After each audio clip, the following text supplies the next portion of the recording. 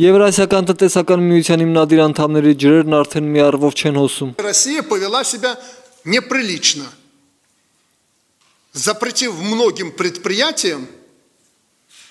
поставку продовольственных товаров на территории России. Լուկաշենկոին դուր չի գալիս այն հանգամանքը, որ Ռուսաստանը պատժամիջոցներ է կիրառում Բելորուսի նկատմամբ Ուկրաինայի հետ հարաբերությունների պատճառով։ Россия пошла на нарушение всех наших договоренностей,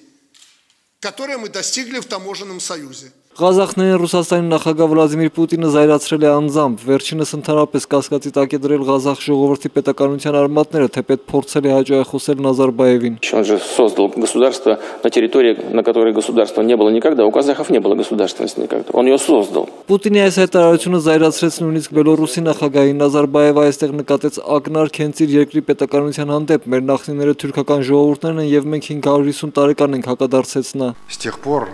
продолжалась государственность казахов. И другие государства в это время какие были? Տպագրվեցին քարտեզներ Վլադիմիր Պուտինին հատուկ հիշեցնելու համար, որ այդ ռուսներն են թուրքական պետականության լծի տակ ապրել։ Նազարբաևն Ուկրաինայում հայտարարեց, որ այսպես շարունակվելու դեպքում դուրս կգան ԵՏՄ-ից։ По строительству таможенного союза, единого экономического пространства и Евразийского союза, а это, кстати говоря, его идея, Евразийский союз, это, я должен это признать, это не я придумал, это он придумал. Անձնական հանդիպումներում սակայն այս կրակոցները մի կողմ են մնում։ Նազարբաևը Պուտինի հետ հանդիպման հայտարարում է, որ գրեթե հավերժական ստրատեգիական գործընկերներ են։ Լուկաշենկոն երբեմն հիշում է, որ արևմուտքը փորձում է կրվածնել Ռուսաստանին ու Բելորուսին։ Во всех